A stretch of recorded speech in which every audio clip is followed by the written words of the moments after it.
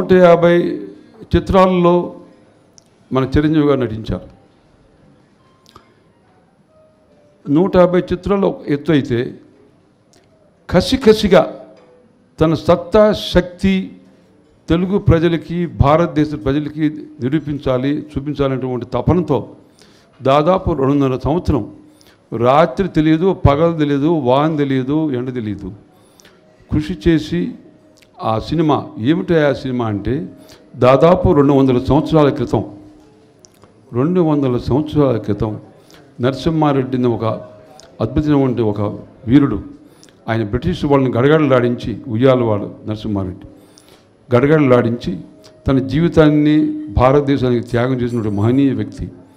ఆయన ఇంకోటి చెప్పాలంటే ఎందరో అమర జీవులు వారి అమూల్య జీవితాలను త్యాగం చేసి వెచ్చని రక్తాన్ని భారతమాత పద్మాలకి పారాణి గావించి ఎర్రకోట బురుజుపై త్రివర్ణ పతాకాన్ని ఎగరవేసి భారతదేశ దేశదాస శృంఖాలను బద్దలు కొట్టి మనకు స్వాతంత్రం సంపాదించినటువంటి మహనీయుల్లో ఈయన ఒకడు ఆ చరిత్ర తీసుకొని దాన్ని భారతదేశం వ్యాప్ అన్ని భాషల్లో కూడా పలా నరసింహారెడ్డి అటువంటి అద్భుతంగా ఉంటే ఒక మహావీరుడు ఏ విధంగా జాతి కొరకు భారత భూమి కొరకు త్యాగం చేశాడు దాన్ని నిరూపించడం కోసం మన చిరంజీవి ఛాలెంజ్ కింద ముందుకు వస్తే ఆయన కుమారుడు ఇది నిర్మిస్తాను. మాటలే జోక్. నాకు ఆశ్చర్యం. మామూలుగా ఎక్కడైనా కుమారుడు ఇంకా మనం ట్రైన్ చేయాలి. కానీ చిన్న వయసులో Ram Charan simple humble down to earth affectionate but spectacular phenomenal magnificent personality ఇది రామ్ చరణ్. ఈ సినిమా నిర్మించడానికి ముందుకు వచ్చాడు అంటే ఇట్స్ అన్బిలీవబుల్ నామూలుగా జరగదు. నేను దాదాపు యాభై ఏడు సంవత్సరాల నుంచి బిజినెస్లో ఉన్నాను రాజకీయంలో ఉన్నాను అన్ని ఉన్నా ఉన్నాను. కానీ రామచంద్రలాగా అంత ధైర్యంగా వచ్చి కొడుకు చేయడం అసంభవం ఈ వయసులో. కాబట్టి దమ్మున్న వ్యక్తి శక్తి ఉన్న మనిషి మనసు ఉన్న మనిషి రామచరణ్ నేను ఎక్కువ పొగుడుతున్నాను కాదు. Chiranjeevi feels proud. My son is such a wonderful. So ఒక కమెడీ హీరో. సినిమాను వదిలేసి నిర్వహిస్తే లాభం లేదు. ఆయన డబల్ రోల్. ఒకవైపు సినిమా యాక్ట్ చేస్తున్నాడు మరొక వైపు నిర్మిస్తున్నాడు. ఈ మ్యాజిక్ అందరూ నేర్పించాలి బాబు నువ్వు అసలు అందరూ కంప్లీట్గా అద్భుతం నిజంగా కామెంట్.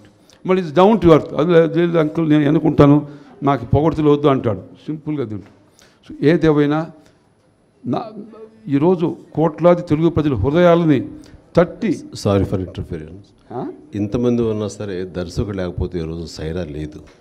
ఎవరు లేకపోతే? దర్శకుడు లేకపోతే సైరా లేదు. ఆ, సో వస్తాను. సురేంద్ర రెడ్డి లేకపోతే ఎట్లా? అందరూ one by one by one by one పిలుస్తాను ఆయన. సో లే అట్లట్టు కాదు. దాని స్టైల్ ఆఫ్ ఫంక్షనింగ్ నా డైరెక్షన్ వేరే ఉంటుంది. ఏం చేశాను? లేడీస్ వాడు కూర్చున్నారు. I said no without ladies నేనేం చెప్పాను? లేడీస్ లేకపోతే అందరం లేడీస్ నేను రాము సిగ్గుపడ్డారు నో రావాలా అన్నాను తీసుకొచ్చాను. వాళ్ళు ఉన్నప్పుడే మనకి ఇది. ఇక మా అమ్మాయి లేకపోతే అందం లేదు. చూడు తమన్న పాపం. సాయంకాలం స్పెషల్గా అక్కడి నుంచి అంటే చెన్నై నుంచి వచ్చి రేపు పొద్దున మళ్ళీ ఫైవ్ థర్టీకి చరణ్ ఫైవ్ థర్టీకి బాంబేకి పోతుంది. Early morning. దెన్ ఈ మధ్యాహ్నం మళ్ళీ ఫారెన్ పోతుంది. అయినా కూడా రావాలి. నేను ఈ చిత్రంలో నటించి ఒక క్రియేట్ చేశాను. రావాలని చెప్పి రావడం నిజంగా అద్భుతం. కాబట్టి మన చిరంజీవి నేను దాదాపుగా ఇరవై సంవత్సరాల క్రితం స్టేట్ టూడే సినిమా అప్పుడు నిర్మించాను. ఆ సినిమా హిందీలో డబ్ చేస్తే అది సూపర్ హిట్ అయి కూర్చుంది. సో ఆ విధంగా చిరంజీవికి మా ఇద్దరికి ఎక్కలేని స్నేహితం. ఢిల్లీలో ఇద్దరం ఎంపీలుగా ఉంటే పక్క పక్కనే ఉండేవాళ్ళం. ఎంపీలకి కూడా. సో అప్పుడప్పుడు నా వైఫ్ ఇందిరమ్మ అంటుంది ఏం నీకు ఇంత ప్రేమ? చిరంజీవి అంటే మొత్తం ప్రపంచం మర్చిపోతావు అని అంటే చిరంజీవి హృదయం మనస్సు మంచిది ప్రే- ప్రేమిస్తానని చెప్తాను అనమాట సురేందర్ రెడ్డి డైరెక్షన్లో రామ్ చరణ్ నిర్మాణంలో ఈ తమ్ముని ఇలా ఇలా ఎలా చేశారంటే అందరికి కూడా బా ఇలాంటి అమ్మాయి మనం ప్రేమిస్తే ఎంత బాగుంటుంది అనిపించింది మనం మొత్తానికి అంత బ్రహ్మాండంగా ఎంత ప్రేమతో చిరంజీవి వాళ్ళిద్దరు కళ్ళు చూస్తూ ఉంటే ఇద్దరు కళ్ళు మనకు మనకు ఛాన్స్ లేదు మనం బాధపడతాం సంగతి. కానీ అది ఎంత కల్పితం. సినిమాలు అంటారే కథలో కల్పితం అన్ని కల్పితం. అట్నే వాళ్ళు లవ్ కూడా కల్పితం అది. ఓన్లీ సినిమా కోసం మేట్ టు బిలీవ్ అంతేనా? Made to believe. ఇది ఎందుకంటే నాకు ఎక్స్పీరియన్స్ నాకు అఖిల నాగేశ్వర గారు నా పక్కన నేబర్ ఇరవై ముప్పై ఏళ్ళు. ఎంత అదృష్టవంతులండి మీరు? అందరు హీరోయిన్తో బ్రహ్మాండంగా ఉంటారంటే నీకు తెలియదు ఆయన కాళ్ళ నొప్పులు పడుతుంది. డ్యాన్స్ చేసి కాళ్ళ నొప్పులు అని చెప్పేవాడు ఆయన. సో ఈ సినిమాలో తమన్నా అద్భుతంగా సురేందర్ రెడ్డి మ్యాక్సిమం ఆమెతో నటింపు చేశాడు నిజంగా సురేంద్రుడిని మెచ్చుకోవాలా ఇది మరి hero will put their garland